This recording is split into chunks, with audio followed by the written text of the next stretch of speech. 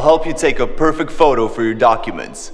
Look how easy it is. To take a good photo, it's best to stand facing your window.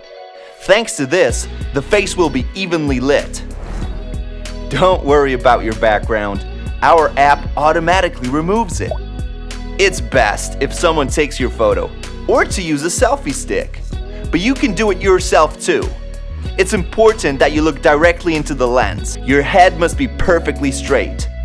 Don't tilt it in any way, just keep it straight. Your shoulders as well. Take off your glasses. Make sure that your hair doesn't cover your face. In particular, your eyebrows. One last time, make sure you're looking straight into the lens. Close your mouth and take a photo.